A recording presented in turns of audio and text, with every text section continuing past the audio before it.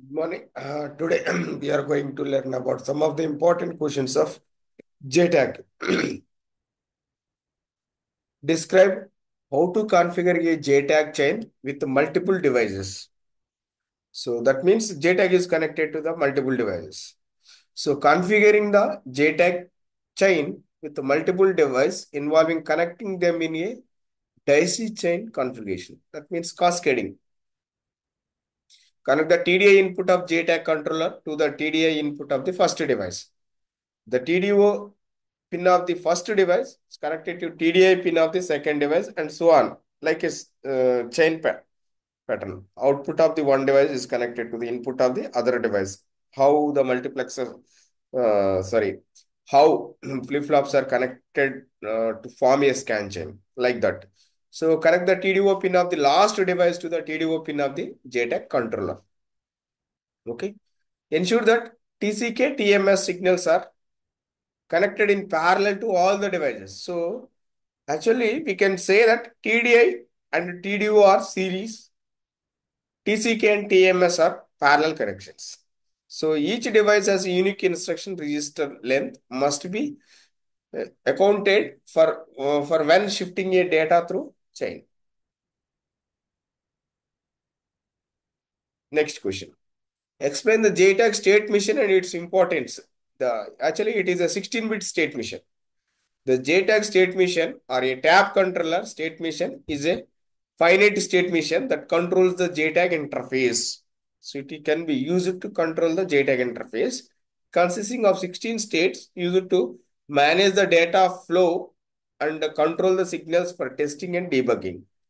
The state machine provides a standardized method for accessing and controlling a device's internal states, facilitating the boundary scan testing in system programming and debugging. Next question is, what are the common JTAG instructions and what do they do? Actually, most commonly used JTAG instructions are bypass. It is a single bit bypass register. So common JTAG instructions include bypass, which allows the data to be bypassed the device. Next one is EXTEST. It is also most commonly used for testing the external circuitry. That means the interconnection between the two devices. Sample preload for capturing the input values and uh, ID code, in test, clamp, HIGHZ. All these are the optional instructions. So these three are the mandatory instructions.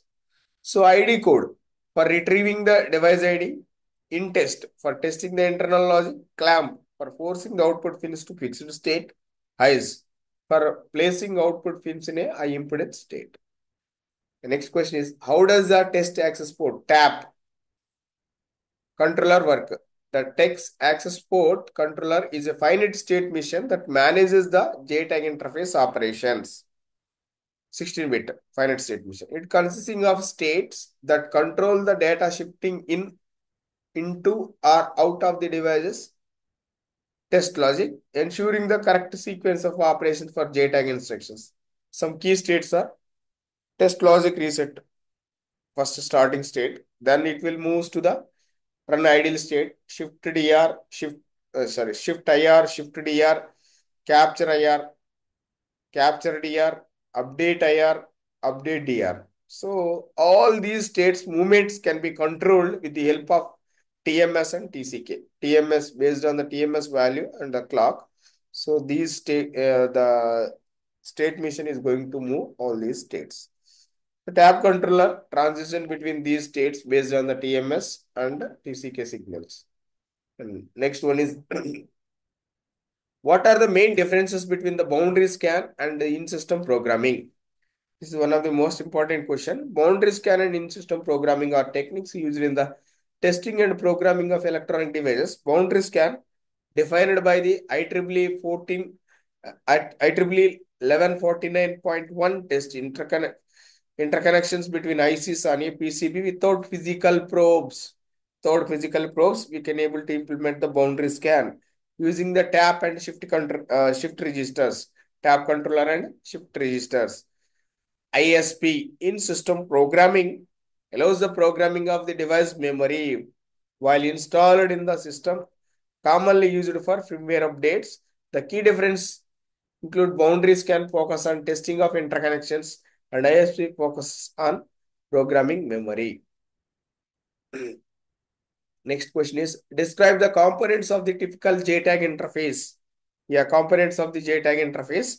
Typical JTAG interface consists several components that facilitate the testing and debugging of electronic circuit. These includes test access port tap, tap controller, which is a primary interface for the communication, the instruction register holding the current instructions, data register shifting the data in, or, in or out, a state machine that controls the data and instruction flow, and a boundary scan cells for observing and controlling of controlling of the device pins.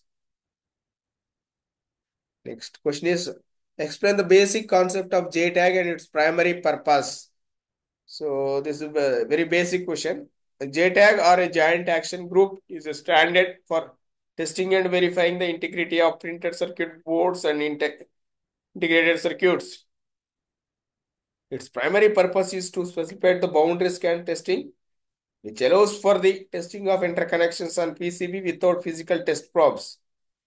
This is achieved using the test access port and boundary scan cells integrated into the ICs. The JTAG standard officially IEEE 1149.1 defines a protocol for communication and controlling of these taps and boundary scan cells, enabling the boundary scan testing in system programming and debugging. That's it. Uh, we'll meet our next lecture. Please share and subscribe my videos.